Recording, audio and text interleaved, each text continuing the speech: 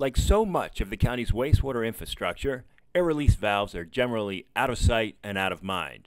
But ARVs are a vital element to keep wastewater flowing through our sewer force mains. The purpose of an air release valve is to um, relieve built up air inside the main.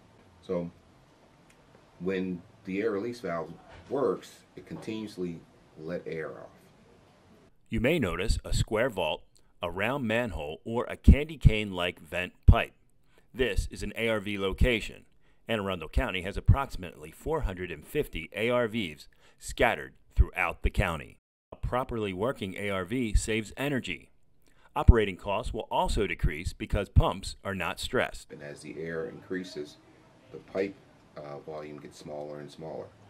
So now instead of pumping um, flow through a 24 inch pipe, you're actually pumping flow through an 8 inch or a 10 inch um, pipe.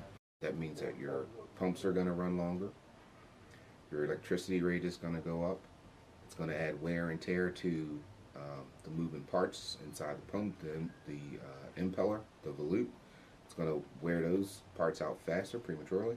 Preventative maintenance work instead of emergency repairs will save the ratepayer money on employee overtime and emergency equipment and supplies. These efforts will reduce the high pressure that causes pipes to break and extend the life of the existing infrastructure. This saves on the wear and tear of sewer pump station pumps and will keep them from prematurely having to be replaced.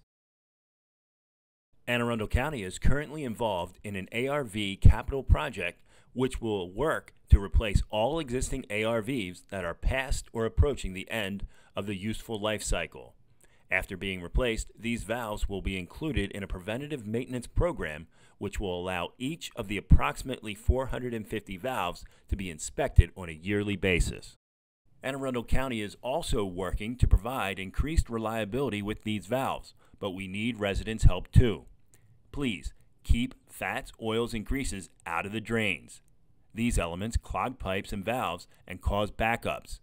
Don't flush wipes. Wipes clog pipes, get lodged in filters and pumps, and cause failures. And remember the purpose and location of the ARV? They are strategically installed at the highest point on a sewer line to help prevent future sewer force main breaks and backups. Please do your part, make the right choice, and the partnership between you and DPW will ensure a more reliable system for years to come.